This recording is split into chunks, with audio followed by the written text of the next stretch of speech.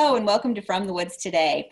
I'm Renee Williams and I'm here with my co-host Billy Thomas and we both work in the Department of Forestry and Natural Resources and we have a great show lined up for you today.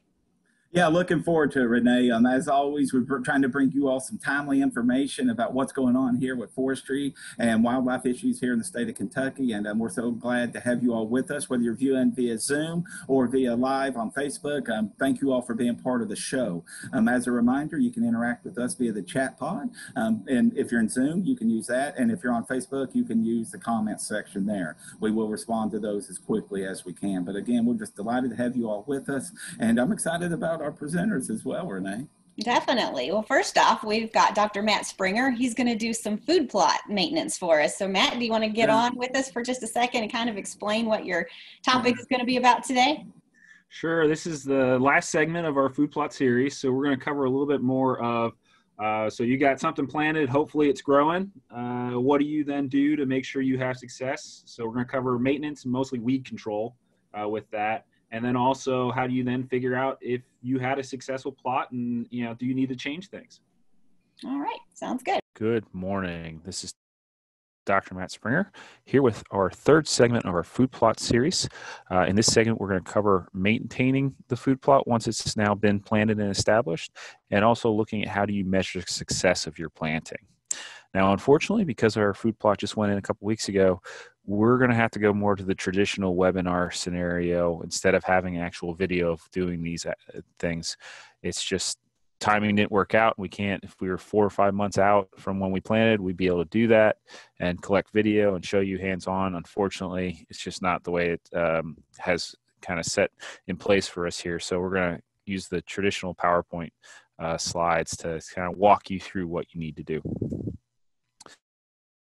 So a lot of what your uh, actions are going to be after now that you have things planted is really um, more thinking about how do I uh, act like a traditional farmer and control the weeds that are growing in my plot, uh, and also how do you then figure out, you know, is everything I did up to this point actually going to be successful in terms of attracting wildlife uh, to the area.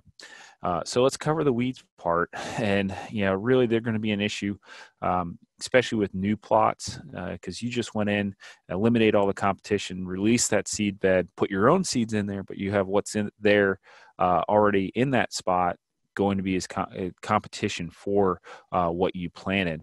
So you have to go through the process of checking on your pot fairly frequently uh, as it's uh, growing uh, and maturing. And when you spot something that doesn't look right, identify what weed you have there and then choose that uh, appropriate uh, herbicide to to eliminate it uh, from your area. Now, an example of a common food plot weed here this is smartweed.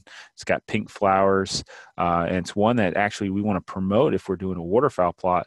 But when we have it in an upland situation, uh, especially during wet years, we want to get in there and remove it because it can really um, become quite dense and, and shade out every everything in there uh, that you've planted. So when we look at what herbicides you may want to become familiar with that are, are used commonly in food plots, uh, we're going to start with the one that we use to actually clean the area out and, and kill all the competition. That's glyphosate. Um, this can come in a couple different, uh, more uh, commercial terms like uh, Roundup, uh, but this is a, a basically a non-specific um, killer of plants. It's going to anything it, it comes in contact with, it's going to have an impact on. Now we can get into some more specific ones that act on certain types of plants.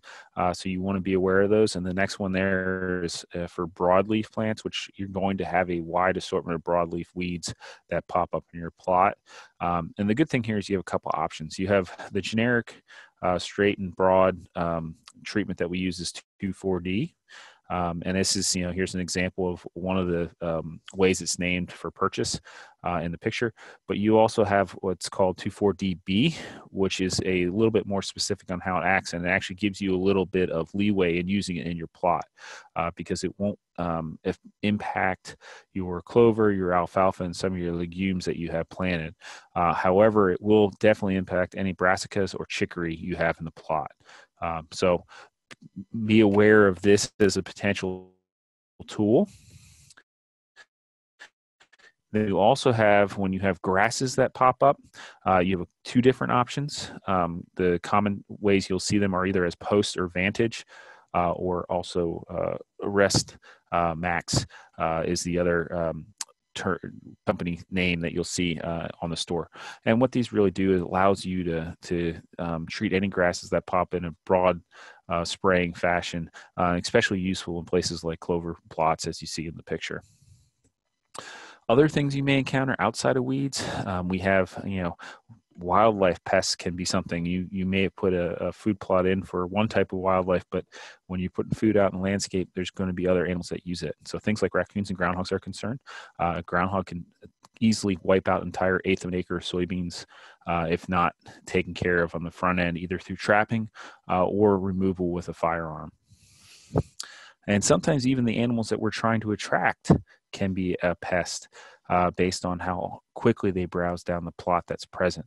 You know, and, and the scenario that usually comes up is uh, soybeans. The first six weeks that they come out of the ground, they're highly attracted to deer, and if deer continuously browse them down and don't let them grow further and, and larger um, to past the point where they can take that browsing, you're going to basically have no food plot left by the time uh, hunting season rolls around. So you may have to invest in a temporary electric fence to try to keep them out there uh, weeks or so. Finally, some other maintenance activities include things like mowing, which is a common practice for clover uh, fields. Uh, it was believed that you should mow a clover field two or three times a year to promote new vegetative growth and, and increase that nutritional quality. Uh, recent work by uh, Craig Harper down in Tennessee has actually showed that that's not really a necessity. Uh, so you can either go in and mow it, it can't hurt it, promote a thick stand. However, it's if it's a time-consuming or arduous task, or or one where you don't want to disturb the animals, you don't have to worry about getting in there and doing that. Now, how do you determine if this was successful or not? Well, you want to monitor those plots, and the easiest way to do that is through using exclosures, which let you know how much vegetation is actually growing in the plot without being eaten.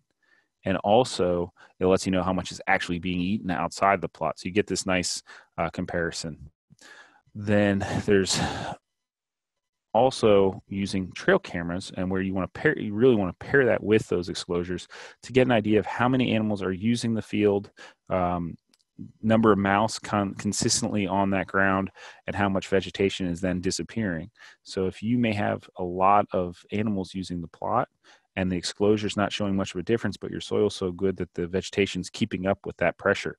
So it, it, allows you to gauge what's really going on in terms of the amount of pressure versus your vegetation uh, quality. Finally, when we look go come to the end of the year we try to reflect on what we've done and, and, determine if what we have all this effort that we put in is a success or not and do we need to change things in the next growing season there's a couple things you need to keep in mind first and foremost, if this is a new plot, then you really need to think like, you know, not really judging success for the first two or three years because it does take animals time to figure out that there's a food source there. Uh, a lot of our animals that use these areas are older and therefore they know where food should be. Uh, so they're not necessarily always looking for new places to find food. Uh, you know, their nose can lead them in, in to places where you know they shouldn't be, like in this picture or this animal ends up in the garage. Um, but it doesn't necessarily mean they're going to find your new plot immediately upon being planted. So don't make any drastic changes to these new areas uh, for at least two to three years to you give the animals enough time to actually know that's an area that there's going to be food consistently. Secondly, um, climate that are naturally occurring in the landscape can drastically impact how much your animals uh, in the area use your food plot. If it's a really good mass year and there's acorns everywhere, you're you could plant the best food plot you've ever planted in your life, and it will fail to that acorn food source every time. It's just that's how good they are, and that's why we constantly talk about how important oaks are for wildlife. The other thing is if it's a drought year or incredibly wet year, those aren't great. Um, times to judge whether or not your food plot is a success. Your stand may not have been as good. The quality of the stand may not have been as good. Maybe you just ended up with a dirt field. Don't make any drastic changes in years that occur. And finally, I want to recommend, um, you know, if you want to continue doing food plots, I really recommend Dr. Craig Harper's University of Tennessee's book on wildlife food plots and early successional plants it's basically the Bible for doing this kind of work in wildlife. Uh, he goes into great deal to, detail on um, strategies, also for individual uh, species or groups of species, uh, as well as the back like 200 pages of this book are individual weeds, um, and it, it goes into you know. Uh, what what is the name of the weed? How do you identify it? It does it have a wildlife value? If so, for what? And then how do you treat it and when you should treat it uh, to get rid of it. It's an awesome resource. I, I tend to open this book up at least once a month. Um, so it's well worth the price if you're going to be doing food plots year in, year out. And finally, uh, you know, I'm always here as a resource. Anyone that has questions or needs to bounce ideas, the best way to reach me is through my email. But I, I um, hope you don't have to reach out to me because that means you're probably doing everything right but I know that doesn't happen. So uh, if you run into a problem, please don't hesitate to reach out to to myself or anyone in our forestry extension team. Uh, doesn't have to necessarily be a food plot question. That series is really nice that you've done there. You know, I, I know talking to woodland owners across the state all the time, that's something of interest to them. But now that you've got these nice three segments talking about it, I think it'll be a great resource for years to come. So really appreciate your effort in that. Yeah, we do greatly appreciate that. Yeah, I hope it can be of value to folks out there. And, you know, obviously it's not a whole lot of time to get into the details, but at least kind of frames things so you can know where to go out and find some more resources and more information to, to try to progress uh, through uh, the activity if you so decide. So just remember, folks, if you have a question, to go ahead and type them in the chat pod, and we'll get them to Matt. Um, Matt, one thing I was wondering is, um, I know you ha- you show a lot of pictures of you know deer eating and that kind of stuff, and I'm assuming there's some kind of cameras you have out there. But how wide an angle and how for how many do you have to have for your food plots to be able to see those and that kind of thing? Well, so um, the trail cameras, there's a lot of different types out there, and, and costs ranging from relatively cheap now, which traditionally they weren't that cheap, um, was a limiting factor, but now you can get them in a store for like 40 bucks. Hmm uh, all the way up to like nine hundred thousand dollars a camera. Wow. features you want. Um, the good thing is the cheap ones, you know, for the purposes that you need for a food plot, get get you what you need. Um, they uh, generally are able to take a decent picture out to about 60 feet in front of the camera. Um, so, you know, if you have a small food plot, acre or less, you really only need one camera. Now, if you have a bigger area, five, six, seven plus acres, you may want a couple cameras to try to cover you know activity zones and, and really get an understanding of what's going on. Okay. And uh, greg wants to know how do you determine when it's a time to kill and replant? Well that, that all depends on what you're growing. Um, you know and a lot of times you'll um, when you pick a type of, of seed um, you're going to want to look at what that life cycle is uh, understanding that you know uh, certain things have value after they've completed their cycle of growth. Soybeans are a great example of that, where um, having soybeans out, you know, you plant them in May. Uh, most of our farmers that are doing this for commercial reasons are taking them down in October and November, but that resource is actually, uh, if it's still in the field for wildlife, super valuable in January and February if we have snow uh, because of the protein content. Um, that's in those beans. So they may look like they're dead, and they are, but those seeds are still there and valuable for you for wildlife, and they do provide a structure uh, of cover to some level. So um, a lot of times you don't necessarily need to get rid of what you planted um, if it's an annual until it's about time to plant again. Mm. If it's a perennial, then it, you kind of have to look at how well is that stand doing. Is it getting some infiltration from weeds that you can't really overcome with just spot treatment? Uh, and if you get overrun, then it's time to start things over again. Um, usually clover fields will are one that's a perennial that'll last about five-ish years if you get a good stand. Uh, and then you want to start things up again and, and refresh it and, and you know hit the reset button. Well, it looks like that's all the questions we have today, but I'm, I'm assuming that if someone has another question, they'll pop it in and we can ask you later on. If you'll be staying throughout the show. I will be around. All right, great. Awesome. Yeah, good deal. All right. So next up, we have Dr. Laura DeWald. Mm-hmm. Um, Laura's going to be talking about collecting acorns, and we've had Laura on here recently talking about tree nursery and their tree improvement program. But you know, one of the things that she does work on is helping people collect acorns. And um, and Laura, glad to have you with us today. Thanks. I'll go ahead and pull this up here. So the White Oak Genetics and Tree Improvement Program needs your help. Specifically, um, we need volunteers to help collect white oak acorns. And for those of you that don't know about the White Oak Genetics and Tree Improvement Program, it was started at the University of, Kentucky, um, University of Kentucky with um, some funding with the Forest Service and the Kentucky Division of Forestry.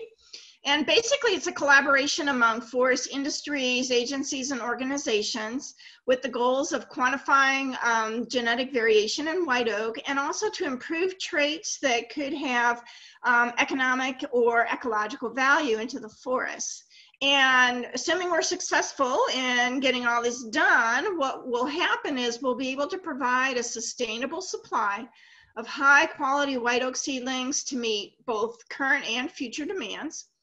And this will improve our ability to conserve and restore white oak in the forests to achieve a variety of ecological, conservation, and economic goals. So to get all this started, we need white oak acorns from the entire geographic range, which is that green shaded area there on the map. So it's a huge area, which means I need a huge, a lot of help. So our goal is actually to try to get an acorn collection from one or two trees per county per state where white oak grows. So um, there's no way I can do it by myself, um, but fortunately, it's a really fun activity. Anyone can do it. Um, last year, the county extension um, programs in a variety of states helped me out um, the Master Naturalist programs um, in Virginia, Missouri, and Tennessee did a really great job helping me out. Um, I also had state and uh, federal um, personnel helping and citizen scientists and just people that had looked at our website and said, oh, I want to collect acorns. Um, I will collect all, I will accept all and any collections that folks make. And so um, I don't necessarily need you to collect acorns, but you're welcome to, of course, but especially spread the word. You know, if you have family and friends and colleagues in Kentucky or other states, you know, because I need that whole green shaded area, um, spread the word. And um, I want to note it is a kid-friendly activity, and these days um, it's easy to social distance to actually do this activity.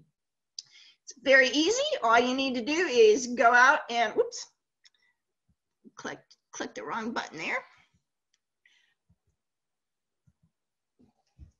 Sorry. There we go. All right, um, just go out and find a white oak tree that has acorns on it and Dr. Ellen Crocker last week talked about TreeSnap in the From the Woods Today show. And so you'll want to um, enter the tree in TreeSnap and take a picture. Then you just wait for those acorns to drop and hopefully um, the wildlife won't consider it a food plot because you're going to be competing with the wildlife for those acorns. But you're going to just pick them up off the ground and then what you need to do is actually put them in a glass of water or a little bowl. And if they sink, they're good to go. And those are the ones that you want to save. The ones that float there on the top of that little jar, though, those won't germinate and grow into seedlings. So you scoop those off and you toss them away. And then you just keep going until you have about um, a one gallon Ziploc type bag full of acorns. And when that happens, you send me an email or call me, and I will send you the postage for a priority mail um, box that you can then just put the acorns in that box and it'll have the, um, so I'll send you the postage, I'll send you a return address label to get those acorns to me um, at the University of Kentucky. And then once I get them, um, we'll be taking them out to the Kentucky Division of Forestry Nursery, um, which was also highlighted last week in our From the Woods Today show and we'll get them planted um, in the nursery there and they will grow for a year. And then depending on how well they do, they will move to the next phase um, in our tree improvement program. So if you remember from, if you joined us last week, you remember I talked about the germination rate is very low. And so I need a lot of acorns and I need a lot of collections. Um, it is okay if I have more than two trees per county that have acorns collected from them. Um, you know, what we do is we just, we pick the best that comes up in the, the nursery.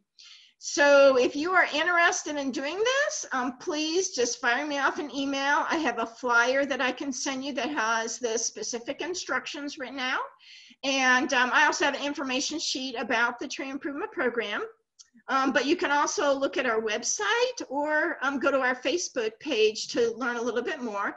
And I'll note that on our Facebook page over the last several weeks, we have been featuring our master naturalists and citizen scientists who actually helped us collect acorns from last year. So that's been really fun for me to actually put a face with a, with a name.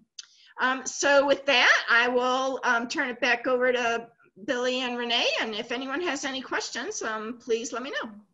Great. Well, again, anybody type your questions in the chat pod if you do have questions. But Laura, one, one question I had is, is it is it a problem if they just take because I know they're in water, so if they just put them in a baggie, are they going to start getting nasty, or do you have to actually dry them off and all of that, or what what's um, the best procedure to do? Well, after the float test, which is where you throw the ones that don't float and you pull, I, I usually recommend just drying them, just pat them dry with a um, paper towel, mm-hmm. and um, you, they do need to be kept in a, in a kind of a cool spot. Um, but you know, they're designed to germinate and um, sometimes there'll be mold on the outside of the acorn, which won't make any difference for growth. Um, so yeah, but typically if you dry them off, it'll, it'll cut down a little bit on the, on the growth of mold and fungi. Okay, when you say you need a lot of acorns, how many is a lot? I mean, are you talking like millions of acorns, or, or, over the, over the what are you course, talking about? Like overall? Well, over the actually, that's a great question. So over the can't do the math that quick in my head though. Um, over the course, if we were able to get so our goal ultimately is about 300 collections that go to phase two of the project, which is progeny testing. So last year we had 17,000 acorns and 91 from 91 trees. Of those, only 50 of those 91 seed sources actually produced enough acorns to mm-hmm. move to progeny testing. So about half of actually what came in. Um, now, part of that was because last year was a really poor mast year, and so some people were only able to get like a quarter of a bag. Um, but we're hoping this year is a better acorn production year. Um, so hopefully those bags will be full and the, the, fuller those bags are, those one gallon bags are, the higher the probability they'll produce enough um, seedlings to move to the next phase. Okay. And we did have a question. Uh, what is the process required for germination? They missed last week's show. Oh, okay. Well, so for um, white oak, it's sort of, they sort of auto germinate. and so what'll happen is um, white oak, the trees, um, the acorns actually mature on the tree. You actually can't pull them off green like you could an apple. It will not ripen. So those acorns have to drop by themselves off the tree. Um, so they have to turn brown. So sometimes the squirrels will be firing on the ground and they'll be green. You can't pick those up.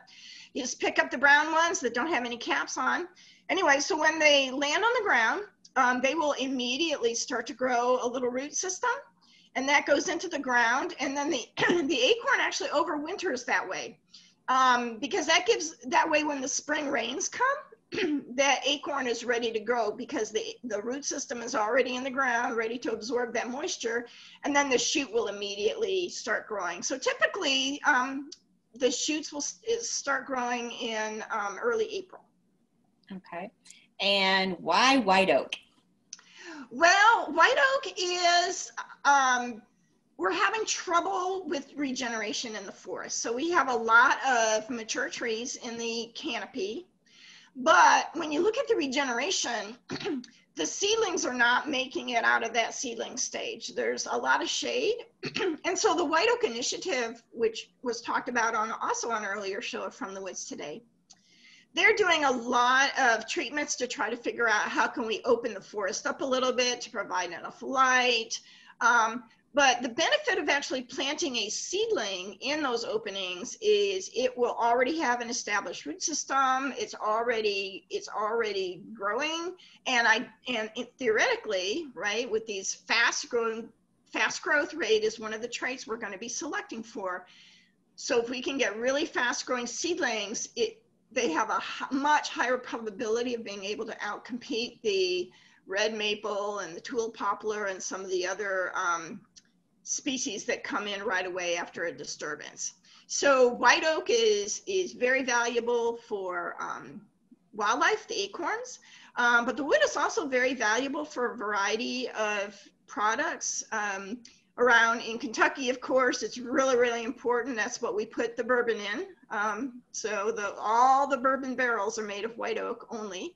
Um, and so, and they're harvesting at a pretty rapid rate. So we do need to make sure that we have seedlings moving into those bigger size classes um, so that we are making barrels in a sustainable way.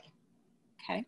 Um, Wayne has asked um, if they collect from more than one, can they collect from more than one county location? And if so, do you need those new locations identified? Um, no, so what I do is you just let me know if you're collecting acorns and that kind of helps me keep track of, of who I need to be ready to send the postage and stuff to. Again, I will take as many as possible. So like last year, I got six collections from Shelby County, which is over by Memphis, Tennessee. And of those six collections, only two actually produced enough acorns. So you know, we have plenty of room to grow seedlings um, in the nursery. So if, a, if someone wants to collect from more than one county, totally awesome. Um, you know, I try to keep my ask a little bit low. So that's why I say, you know, just collect from one tree for me. But if folks want to do it from um, different trees in different counties, that is totally great. The, the important thing is, though, is that the acorns that go in a single bag need to come from a single tree. So that's a really important piece. So, because we don't want to mix the genetics up because that's what we're trying to evaluate. So um, multiple counties are great. I have a lot of counties where I don't have any acorns from. So the more we can spread folks out, the better.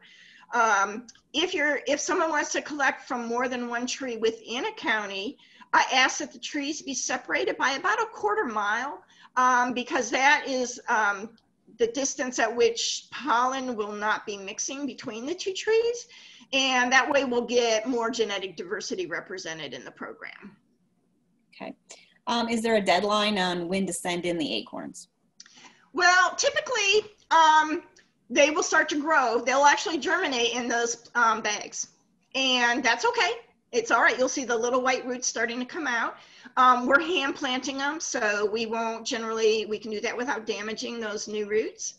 Um, but typically, people collect over, it takes about one to two weeks um, to fill that bag, depending on how, you know, what basically, like the first acorns will start to drop.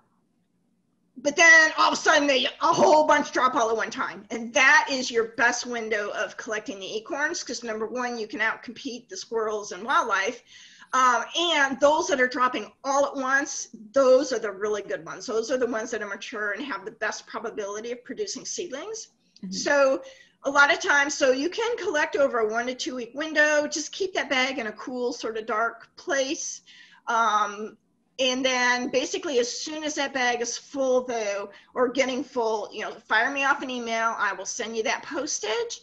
And that way, um, they can get to me as soon as possible. Once once I get them at UK, we have a cold room, and so we'll put them in a cold room. And as soon as I get about 10 collections, I drive them out and we um, plant them in the nursery. So we want to get those because again, they're they're already growing. So we want to get them in the ground as soon as we can. Okay. And we've had some questions about TreeSnap, and I know we have Dr. Ellen Crocker on here um, who can answer some questions about that. And um, so, Ellen, I don't know if you can pop on for us. Great. There. Yeah, definitely. So, tell so, a little bit about TreeSnap. Yeah, TreeSnap is a free app. Um, you can use it for Android or iPhone. And uh, we've partnered with different researchers who are doing uh, citizen science projects like the one that Dr. DeWald just described today. Um, and so if you want to be collecting acorns, TreeSnap is just a really easy way to collect all of the data that she needs about them, um, as well as the GPS uh, location. Um, and you can just download the app, uh, answer a few questions, and then the number that it gives you associated with your entry, you can share with her or you can share her the link for that. Um, and that'll just make it a lot easier uh, to get her all of the information she needs down the road. So we're also partnering with other researchers on different projects. Um, uh, so uh, check us out at treesnap.org. Great, thank you, Ellen. And we also have a question about how deep do you plant the acorns when you plant them? Okay. Well, so because white oak is um, designed to basically, it, it, really is designed to lay on the surface of the soil. So you don't have to plant in the nursery. Um, we probably, the nursery goes through, they have a machine that digs furrows for us um, for when they're machine planting, but they go ahead and put the furrows in. The furrows are about um, maybe an inch deep. And then we just drop the acorns in and basically then cover the, the tops with the soil. So they are just really, they're just under the soil surface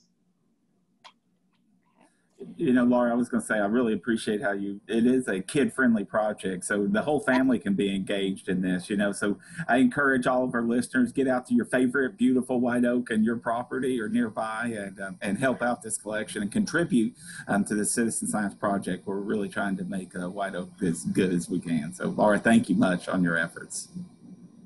You're welcome. I did have a couple other questions too. That if there was a couple of trees that are close together, um, and they can't tell what acorn is coming from what. Um, should they collect the ones closer to the trunk or does that matter? Yeah, well, you know, there's only so many things we can control. So yeah, they roll, you know, so um, generally, you know, they're going to drop and roll. If there's a little bit of mixing um, between two adjacent trees, you know, what I would do is pick the nicest looking tree and collect acorns from underneath it we may be getting some of the acorns from the adjacent tree, but to be perfectly honest, um, those two trees have been pollinating each other. So those genetically, those two tree, those acorns are related anyways from those two trees. So that's okay. That that would be okay. All right. So I think that's all the questions we well, have. Yeah, right. That was great. Those were great questions. Thank you. Yeah. No. Awesome. Good deal. All right. All right. Well, speaking of acorns, we have a um, another tree of the week that's going to feature a acorn producing tree. I don't know if Laurie can come on for a second. We're going to be talking about um, a, another type of white oak, right, Laurie? But not necessarily the white oak. Correct. Um, yeah, we're talking about post oak, um, which is one of our upland white oaks, and um, and it's also one that's included in the um, in the white oak uh, initiative that we're providing landowners information about because the wood has some of the same properties as Quercus alba, the white oak. Um, so yeah, it's a, it's a great tree, a, an important wildlife tree, um, just like our white oak is, and you know this time of year with the acorns and stuff out there. So here's post oak. I'm Laurie Thomas with the University of Kentucky Department of Forestry and Natural Resources Extension, and I'm here with the tree of the week, the post oak. Post oak Quercus stellata, is sometimes called iron oak. The species is known as post oak because early settlers used the wood for fence posts since it's so durable even when in contact with the soil. Post oak is recognized in the white oak group and the wood share many of the same qualities. And like most oaks, it's an important wildlife tree. It is a medium-sized tree, 40 to 50 feet in height, and grows on average 12 to 24 inches in diameter. Post oak is abundant throughout the southeastern and south central United States. It typically grows on dry, rocky outcrops, ridges, and upper slopes, pretty poor sites. Post oak exhibits tremendous drought resistance. It's relatively slow growing and commonly overtopped by other trees, including other oaks, on better sites. However, on those poor sites, post oak tends to persist and can become dominant because it's more drought resistant than the other species it's growing with. It's classified as shade intolerant. Post oak is a deciduous tree with alternately arranged leaves, as you can see in the photo. The leaves are simple, which means they're made up of one blade. They're oblong in shape and about 6 to 10 inches long. The leaves typically have five lobes. The two middle lobes are squarish and nearly opposite, giving the leaf a cruciform or cross shape. This is a great characteristic in identifying this tree. The leaves tend to be thick and green above with scattered stellate hairs, and the underside is paler and typically pubescent or hairy. Post oak makes a lovely landscape or shade tree. From the spring, the, uh, those red furry leaves to the thick green summer canopy and to the autumn with those colors of russets and browns, it could be a really nice addition to any landscape. Post oak is monoecious, which means one house and refers to the tree having both male and female flowers. The male flowers are yellow-green on hanging catkins, and the female flowers are typically reddish and are in a short spike in the leaf axil. The flowers bloom as the leaves are emerging from March to May, depending on location, and the flowers are wind pollinated. The fruit is an acorn, and they are either solitary or paired, and they're on very short or sessile stalks. The acorns are typically one half to two third inches long and sort of egg shaped. They have a warty, scaly cap that covers about one third to one half of the acorn. The acorns mature in one growing season, ripening in the fall, usually September through November. They germinate once they drop. Seed production begins around 25 years of age, give or take a little bit. And trees have good seed crops every two to three years. Post oak does not produce as many acorns as its associates white oak or black oak. And the acorns are dispersed by gravity and wildlife. Post oak is a valuable contributor to wildlife food and cover. The acorns provide high energy food during fall and winter and are considered important in the diet of wild turkey, white-tailed deer, squirrels, and many other rodents. When these acorns are available, the animals have lots of food to eat, so they're fattened quickly and they go through winter in good condition and are most likely to produce healthy young in the spring. The leaves are used for nest building by birds, squirrels, and raccoons, and the cavities in these trees provide nests and dens for various birds and mammals. The bark of post oak is ashy gray and initially quite scaly, but as the tree ages it becomes more blocky with ridges. Overall, the bark looks pretty similar to white oak.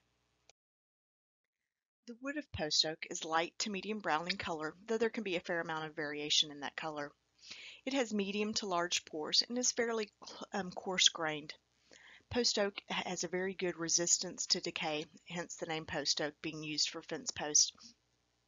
Post oak falls into the white oak group and shares many of the same traits as white oak quercus alba. The wood is used for cabinetry, furniture, interior trim, and flooring, a lot of the same things that white oak quercus alba is used for. The wood is also used for railroad ties, construction timber, wood chips for smoking meats, and for fence posts. You remember where it gets its name from. And the bark is used for a decorative and protective mulch in landscaping. The national champion post oak is in Cherokee, Alabama. It's 255 inches in circumference, 95 feet tall, with a 122 foot crown spread. If you'd like to know more about champion trees, check out American Forest Champion Tree Register or go to the Kentucky Division of Forestry Champion Trees. Now for a few fun facts about post oak. In The Natural History of Trees by Peattie, he says post oak should be called crosstie oak, since some of the first rails of our railway system in America were laid upon post oak. Now, this may not actually be a fun fact, but the tannin in oak leaves, the buds, and the acorns are toxic to cattle, sheep, and goats, and that poisoning occurs more frequently in drought years when other forage is in short supply. The most dangerous season is during the spring and when the sprouting of that new foliage occurs somewhere between March and April. The species name of post oak, stellata, is Latin and means covered with stars, in reference to the star-like tufts of hair on the leaves. I'm glad you joined me today to learn about post oak and hope you get the opportunity to get out into your woodland, local park, or neighborhood and enjoy this member of the white oak group. We greatly appreciate that uh, presentation. And um, we do have one uh, couple questions. And do most oaks contain the same toxins? Oaks do have, they're heavy in tannins. All of our oaks are. They have a lot of tannins, and that can be toxic to some. I wouldn't necessarily mean it's a, to, a toxin, but it can be toxic to certain, um, and especially livestock. So, yeah. Okay. And how um, how much is it used uh, post oak used in the Kentucky wood industry? Um, I'm, I don't know that I could actually answer that, but I think we might have Darren Morris or Eric Gracie who are on who might have a better feel for that as they worked with the Kentucky Division of Forestry. Its wood is lumped a lot of times with white oak. It has Quercus alba, a lot of the same properties, but I don't, from my experience with post oak, the growth form sometimes isn't as good. It's on a poorer site, um, so and it doesn't get quite as large. So maybe Darren can answer this for us. I see he's hopped on. Yeah, post oak is normally one that it's it's used for rough lumber uh, railroad ties like you mentioned. But if there's a particularly good looking uh, post oak, um, it can be cut up and you can get uh, uh, number one grade lumber and, and, you know, high quality stuff from it. So it, you know, the individual tree will dictate uh, how high it goes in the market. Yeah, I think Laurie, at least a lot of my experience, is it is a kind of a poor form um, tree than you know our, our top, typical white oaks. But you know, one thing I really love about the post oak is so kind of tolerant of drought.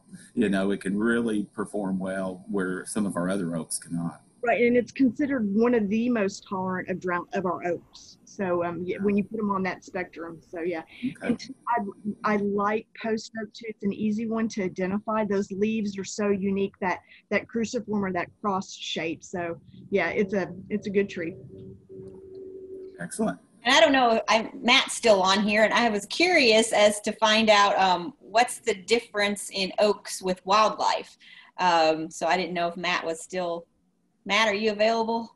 So probably one of the biggest uh, differences in, uh, for wildlife is the size of the acorn comes into play a lot. So what wildlife species are able to consume acorns uh, really comes down to can they fit it in their mouth and digest it. Uh, mm-hmm. so and that really plays a bigger role with our bird species. Uh, so things like quail will eat be able to eat smaller acorns, but when you get into the larger ones, they won't be able to. A lot of our songbirds are the same way. Um, things like blue jays are able to con- consume a lot of acorns uh, up to about the medium size, but they just can't get over that hump there to get the big ones. Uh, outside of that, it, it really comes down to numbers, how much uh, each tree produces, uh, and that can vary a lot within you know the species itself. So its its size is probably the biggest component. Um, their nutritional quality is pretty consistent um, per gram let's say. What about the toxins that we were talking about earlier?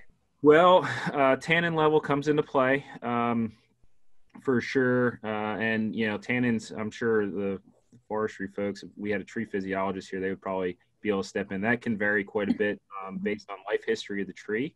Um, you know, if a tree as it's growing is browsed upon, uh, the area that is browsed upon, the reaction is an increase in tannins in that area to reduce the palatability.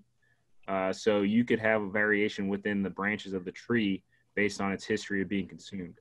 So it the higher the tannin level, the bit the more bitter it is. Okay, I was just going to ask, you know, in case some people don't know, can you kind of explain tannin and what that what that's about? So that's what makes your wine good if you're a red wine fan. um, so the tannins really, uh, it, it, to keep it as simple as possible, it, it changes the the taste and and digestibility and mostly the taste to uh, extremely bitter. So the higher concentration, it really becomes uh, almost, you know, where you're not going to want to consume it because of those levels.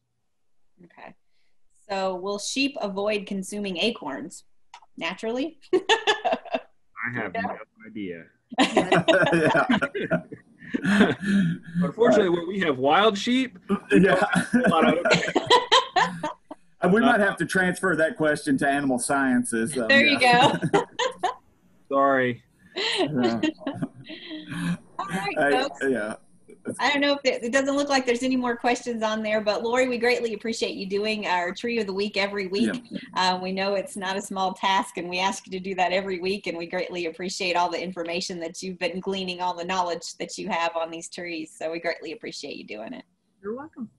Yeah. Hey, as a reminder, folks, those Laurie's building this big inventory of all these um, different trees of the week. That uh, if you got interest in some of these past ones, we've been posting those as individual segments on our YouTube channel. Um, so you know, check those out um, if you have interest. If you've missed any of those, and and again, all of our shows are being posted on FromTheWoodsToday.com. Thanks to Renee and Brianna for all their work in doing that. Um, yeah. Well, speaking of From the Woods today, you know, um, next week we have an interesting show coming up too. We have an introduction of the forest industry, um, and um, Dr. Matt Springer is going to start doing a wildlife sound, so you'd be it'd be neat to hear about that. And then we have uh, a video on the econ contribution report. So mm-hmm. um, a lot of different forestry forest industry information next week. So um, that's a, another good one. Oh, we got another question for Matt that just popped in on food plots. and baiting them seems to be more prevalent now for hunting deer versus old school walking to find a sign, natural resources, that kind of thing. Is it necessary for wildlife management? You are entering the world of politics, which right now do, uh, we have enough of that. Um, Wasn't my question. so um, yeah, so it's a cultural um, thing in, in many ways in, in terms of that behavior and, and hunting style. Uh, I came from a state in Pennsylvania where baiting is completely illegal. Um, and you know feeding wildlife is illegal and therefore to me when i left that state you know to a decade a little more than a decade and a half ago um, i got to states where baiting was legal and it, it seemed like cheating to me left and right because that's kind of the culture i grew up in um, it's much more prevalent in the south uh, especially on larger, you know, when you think about larger tracts of land, especially um, industrial forests, like pine production, uh, it's a lot harder to hunt those by following natural sign, and and you know they don't have ridges and and uh, funneling points as easily identifiable in those situations. So uh, people went to baiting, and and you know food plots is the other thing. It's it's you know um, you're getting into some very gray areas of wildlife management. Um, the way we approach them from a biologist side is they're happening and uh, as long as there's not drastic changes in um, how much they're occurring uh, then we can you know basically know that our population harvests and those things are going to remain fairly consistent with that being a, a item that's out there. Um, and if a population harvest crashes for some reason we wouldn't expect it to be because food plots and baiting stopped. Um, so it's yeah, it's a very gray area and one that um, will fire a lot of people up. Uh, we've seen it with uh, CWD issues, um, chronic wasting disease, as it spreads state to state into states that have baiting, and they try to shut it down to slow the spread of the disease. And uh, people have resigned and been fired um, in agency positions because of it. Uh, so it can it can very much motivate people in a both positive and negative fashion. Sounds like it. Yeah, right. uh, yeah, big subject there, Matthew. Big subject. yeah. yeah, yeah. As a reminder, we are not attorneys, no, we and, and, we and we do not offer legal advice. So, uh, yes. so the only thing I would say is, um, as long as you are following the laws that are in place from your game agency and your state uh, entity, then um, that's all we want. We you know we don't want people breaking the law. So if it's legal in your state um, just do it in the way that's uh, framed out to make it legal. All right, sounds good. So one thing I did want to share with them too is a picture that we actually ran in the Kentucky Woodlands magazine. And if you can see this, this is um, them planting acorns at the nursery. And uh, you can see where they've done the lines and they're planting the acorns and going to cover them up with dirt. So people had a question about what it looked like. And I thought, well, we ran this in Kentucky Woodlands magazine, so we could easily show this. Oh so, yeah, that's a good addition. Hey, speaking of uh, speaking of publications, Renee, if any of you all are um, electric co-op uh, members out there, Kentucky Living Magazine just did a huge spread on forestry here in Kentucky. So, and they actually featured the show um, from the woods today. So, if if you are a member or get your hands on that Kentucky Living um, recent issue, it's a it's a great information about forestry here in the state. So, definitely. All right. So I look like we've got another one in the books. So uh, thank you, Billy, for joining me every week. I greatly appreciate all the help that you you do with the show. Oh yeah, hey, teamwork makes the dream work, and we're just glad to have all of our folks out there, you know, that are um, uh, tuning in with us each week and catching us on Facebook and watching the recordings. Again, we're doing this for you all, so please don't hesitate to let us know if there's some subject matter you'd like to see covered um, or what's going on in your neck of the woods, and um, we can maybe talk about that as well. Mm-hmm. Definitely. So like us on Facebook and, you know, share it and tell everybody about it. And um, if not uh, uh, this week, but we'll see you next week on Facebook Live or here at 11 o'clock on Wednesdays. Make sure to join us.